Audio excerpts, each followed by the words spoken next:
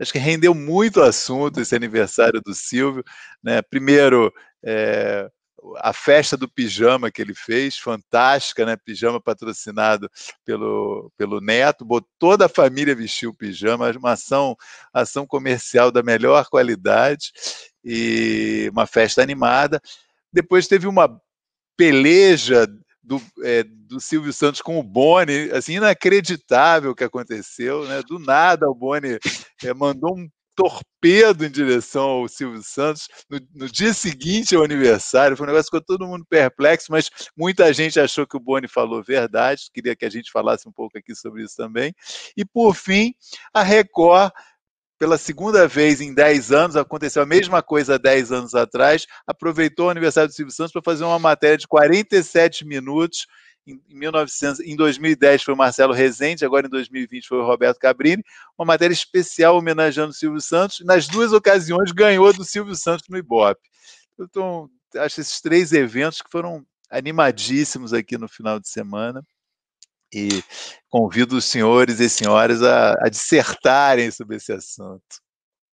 Vamos começar pelo Boni, que eu acho que é o, é o que dá mais pano para manga, né? O Boni deu uma entrevista ao UOL, né, ao Splash, e disse que, é, que o Silvio Santos não deu nenhuma contribuição importante para a televisão. O cara sempre pensou nele mesmo como comerciante, que eu acho que é, desse ponto de vista é verdade, sempre usou a televisão para vender os produtos dele, mas nunca pensou na televisão é, como, enfim, como acho que o Boni pensa, mas é uma declaração bastante é, polêmica, muita gente ficou indignada com isso, mas eu acho que tem uma certa lógica, por um lado, mas eu entendo que ela é injusta também com o Silvio Santos.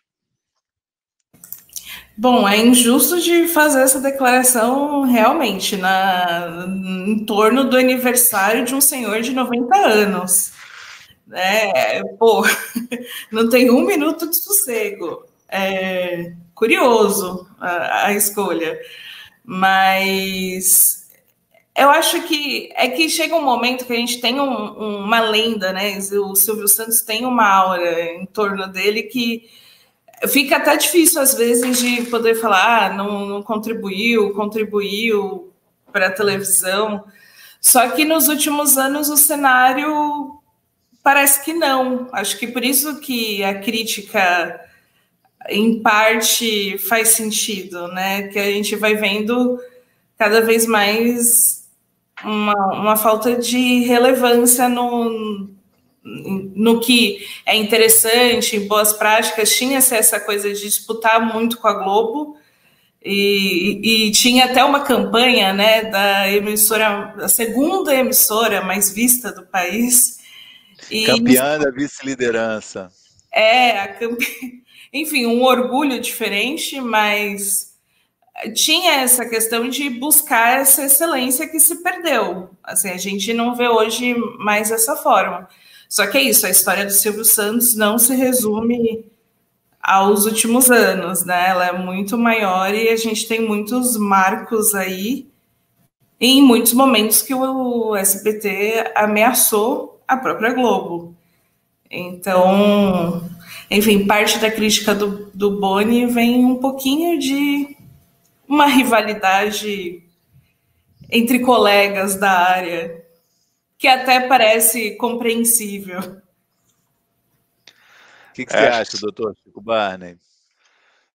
Eu, é muito engraçado. Assim, eu, eu adoro a posição que o Boni ocupa hoje no, no, no assunto televisão, assim, né? É, é como um, um oráculo, né? Um oráculo, onde as pessoas, sabe, um negócio meio Fernando Henrique Cardoso para a política, é o Boni quando o assunto é TV. Assim.